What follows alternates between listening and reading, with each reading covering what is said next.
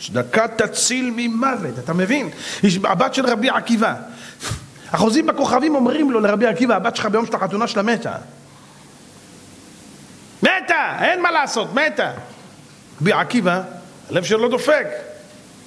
מה לעשות? הבת שלו מתחתנת והוא כולו רועד.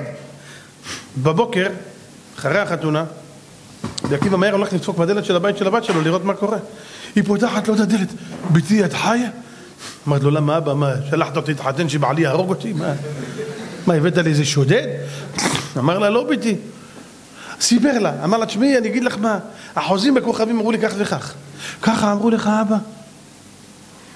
תגידי לי, ביתי, מה מעשה טוב עשית? אמר לו, אבא, אני אגיד לך את האמת, אבל איך קלה בחתונה שלה? קלה? היא עפה, היא קלה. היא קלה מאוד, עפה לפה, עפה לשם, המוח שלה בעננים, היא לא פה. היא רואה מישהו, היא לא שמה לב, היא לא יודעת מה היא אכלה, מה היא שתתה, את מי היא פגשה, היא לא זוכרת כלום. היא אומרת לו, אבא, אני ראיתי, אני אחד נכנס לתוך המסיבה הגדולה של החתונה, ואף אחד לא מתייחס אליו.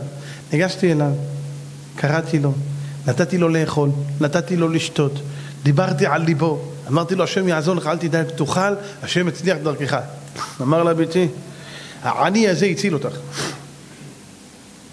רבי עקיבא מתקרב, רואה בתוך הבית, שם את הסיכה שלה, בזמנם לא היה יותר מדי איפה להחביא דברים, היו מחביאים דברים, מי שלמד קצת מסכת בבא מציאה יודע, אנשים מחביאים בחורים שבכתלים וכולי.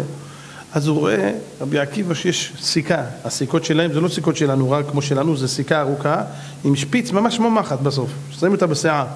רבי עקיבא רואה את הסיכה הזאת בתוך הקיר. הוא שולף את הסיכה, רבותיי, ביחד עם הסיכה יוצא נחש. אמר לזה היה צריך להרוג אותך. המחט שנכנס בלילה נכנס בתוך הראש שלו. זה העני הזה הציל אותך.